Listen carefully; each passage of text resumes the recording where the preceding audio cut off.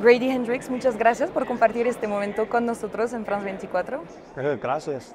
Muchas gracias, ¿cómo estás? How are you? I'm fine. Bien, ¿y tú? I'm good. I'm good. Bien, esto me asombra, es enorme. No tenemos una exposición de libros como esta en Estados Unidos. Tuvimos una, pero ahora es mucho, mucho más pequeña. Así que esto es, wow, estoy un poco a asombrado. Bienvenido a la Feria del Libro de Bogotá. Bueno, guía del Club de Lectura para Matar Vampiros, El exorcismo de mi mejor amiga. Tienes algunos de los mejores títulos de libros que he visto. Uh, and ¿Cómo los eliges y especialmente cómo elegiste el último, cómo vender una casa embrujada? A haunted house? How did Yeah, you a find it? title is so important. Sí, el título es tan importante, toda tu publicidad es tu título. A veces el título viene primero. Para el exorcismo de mi mejor amiga, mi editor no quería comprarme otro libro. Le daba ideas para esto, ideas para aquello.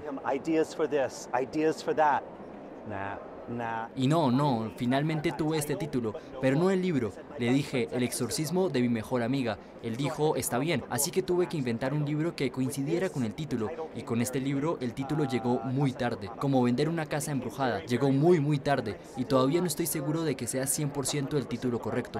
Okay. Porque el libro es más sobre...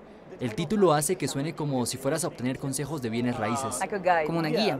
Sí, y tal vez, tal vez sea útil si estás vendiendo una casa embrujada. Pero siento que puede crear una falsa expectativa de que si mi casa está embrujada, este es el libro que necesito para ponerla a la venta.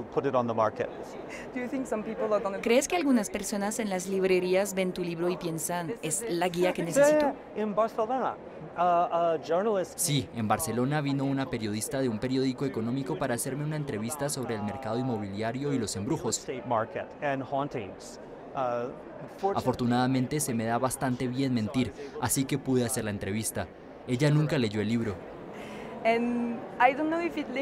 Y no sé si tiene que ver con decir mentiras, pero iba a preguntarte por tu carrera periodística. career before before very similar. Claro, es muy parecido. There is a link. I think there is an ability to be able to talk to everyone and Te toca hablar con mucha gente e improvisar, así que trabajaste como periodista durante muchos años. lots of years. How did you ¿Cómo empezaste a escribir ficción y qué es lo que te enamoró de la ficción? ¿Qué te hizo pensar eso es? the thing that I want to do?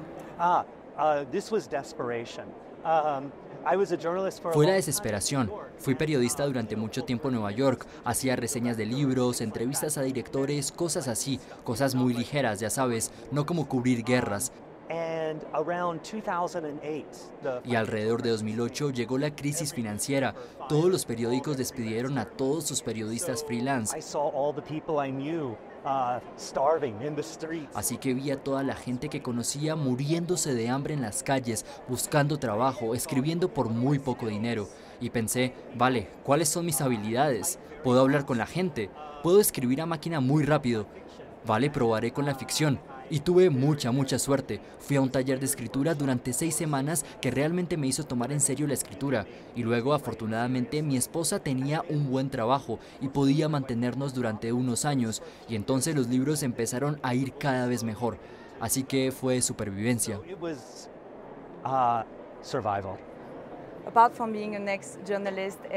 Además de ser un ex periodista y de tener el don de encontrar títulos pegadizos, the thing that characterizes you, I hay think otra cosa que te caracteriza, creo, y es que en tu escritura, humor y terror siempre van de la mano. ¿Es difícil encontrar este equilibrio? uh, No, cada película de terror, los libros son un poco diferentes. Pero todas las películas de terror tienen chistes. Paso mucho tiempo escribiendo mis libros. Y del mismo modo que no quiero ser amigo de una persona que no tiene sentido del humor, no quiero escribir un libro sin sentido del humor. Y así es nuestra vida. Mi vida no es solo terror. Mi vida no es todo romance. Todas esas cosas pasan. Te pasa algo muy gracioso, cinco minutos después algo muy aterrador. Y por eso quiero que mis libros se sientan más como la vida real. Tu vida es una novela de terror con una novela de comedia y con suerte una novela romántica. Esta es la forma en que el mundo se ve para mí. ¿Y es esto algo que quieres encontrar también en los libros que lees? Así es, no puedo. Si una película es demasiado seria o un libro es demasiado serio, siento que esa persona se está esforzando demasiado. Tal vez son un poco inseguros por dentro, ya sabes, tienen que actuar. La gente, ya sabes, la mayor parte de nuestra vida la pasamos contando chistes, contándole a la gente una historia graciosa. Decir, no vas a creer lo que me pasó hoy, nos encanta contarnos historias. Y es muy divertido escuchar estas historias. Y quiero que mis libros se sientan como si alguien te hubiera parado y quisiera tener una conversación contigo y contarte esa historia. Y es tan bueno que quieres quedarte y escuchar. Uh, Con el éxito de tus libros llegó la casi inevitable comparación con Stephen King. Y en lugar de preguntarte si es cierto o no, quería saber a nivel personal qué es Stephen King. level, what is Stephen King to you? Ah, so I have older sisters, Bueno, tengo hermanas mayores y cuando era muy pequeño escuchaba los discos que ellas escuchaban, leía los libros que ellas leían. Cuando van a la universidad dejan libros y me preguntaba, ¿qué es esto? Los descifraba. Y una de mis hermanas dejó un libro de Stephen King, así que lo leí y significó tanto para mí cuando era niño que sentía que así eran los adultos, Ah, teniendo sexo, se lo comen los perros, están, ya sabes, están usando, están usando palabrotas. Ah, esto es lo que debe ser un adulto. A medida que me hacía mayor, Stephen King me interesaba menos, pero entonces hace muchos años hice un proyecto como periodista para releer todo lo que había escrito en orden. Me llevó unos cinco años. Cuando empecé a hacer esto, y lo escribí para una revista en línea, cuando empecé a hacer esto, yo no era un escritor de terror, no tenía contrato, yo era solo un tipo. Pero cinco años más tarde había ganado algunos premios, había publicado algunas novelas, y así fue un montón de cambios. Y la única cosa que siempre fue constante para mí fue un gran libro de Stephen King que tenía que leer. Así que se convirtió en un amigo imaginario para mí durante esos años y nunca quise conocerlo en la vida real. Eso es lo que te quería preguntar. No, con el imaginario nos llevamos muy bien. Es cierto que puede ser un poco peligroso conocer a alguien que realmente admiras. Sí, exactamente. ¿Cuántos escritores como él? Ha escrito 50 libros. Cada año hay un nuevo libro. Eso no es poca cosa. not a small thing. Uh, Puedes leer su primer libro y su último libro y ver cómo cambia la edición, cómo cambia la lectura. Tantas cosas cambiaron en este tiempo. but this time, Carrie is 50 years Carrie old. cumplió 50 años en abril.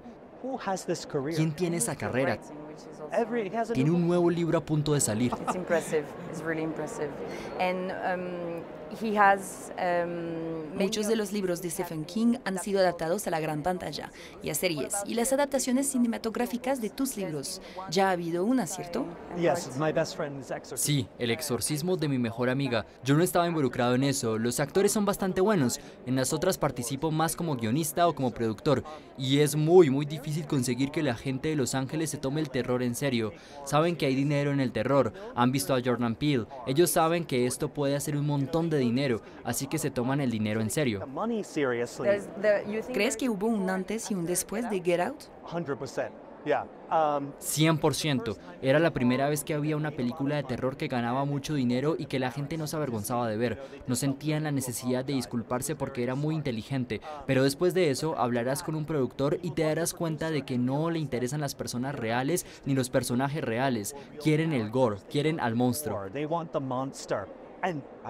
Y me gusta el gore, me gustan los monstruos, pero me gusta que vayan acompañados de personas reales porque si no, no tienen sentido. Así que eso ha sido difícil, pero ya veremos. We'll see. We'll see. And for this one, for this book, Para este libro he leído que estabas hablando con algunas personas para una adaptación.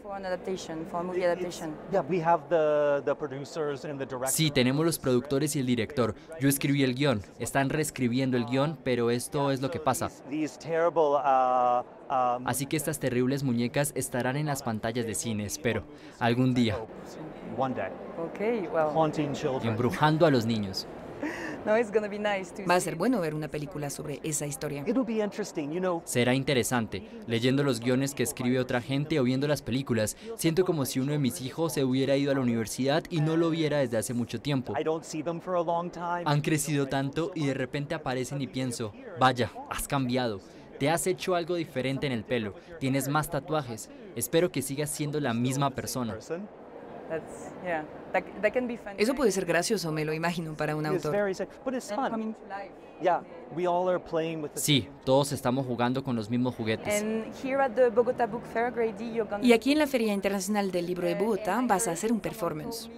Y alguien me dijo que tenías que aprenderte un texto en español para hacerlo. Um. Sí, pido disculpas profundamente a todo el pueblo de Colombia. No merecen escuchar mi terrible español. Deserve to hear my terrible Spanish. Um, Pero no sé, hago estos programas en lugar de un evento de autor. Los eventos de autores son tan so aburridos. You did a podcast. Hiciste un podcast, un one-man show. Yeah, I want to make it fun. Sí, quiero hacerlo divertido, así que esta performance es para hablar con la gente acerca de qué hacer si su casa está embrujada. Es muy informativo, pero tendrán que escucharlo en español. Será muy doloroso. Será como una película de terror para ellos. And finally, to, to end this conversation, I wanted to Y para terminar esta conversación, quería preguntarte si conoces algún cuento, alguna historia de terror de esta parte del continente, de América Latina, que te guste. If you, like any author from here. I'm a big. I, I really love Mariana. Me gusta mucho Mariana Enríquez. Solo una de sus novelas ha sido traducida a inglés, pero sus cuentos son realmente... me han hecho sentir muy avergonzado de ser tan malo escribiendo cuentos. I am so poor at writing short stories. Realmente encuentro su trabajo. Es muy... It- It's very the control. El control que tienen esas historias es realmente... Soy un estudiante. Bueno, Grady, muchísimas gracias por esta conversación Ah, gracias. Y gracias a ustedes por su confianza. Sigan con nosotros, hay más cultura en France24 y france24.com.